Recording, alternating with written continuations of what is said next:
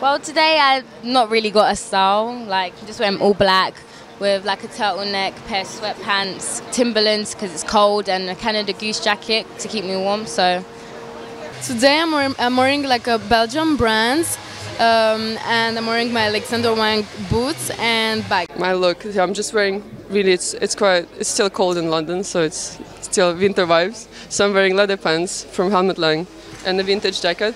It's a fur coat. I mean fur coat. It's um, yeah, it's vintage. I got it Portobello Road Market, and I'm, I was wearing um, boots that are over there. But right now they're doing my nails, so yeah. My look today, uh, like basic, but this it's I don't know. It's like I yeah cool. Uh, the t-shirt's a bit chic, but yeah, but but the shoes is Nike because you know like a million things to do all day. I can't wear anything else. Yeah.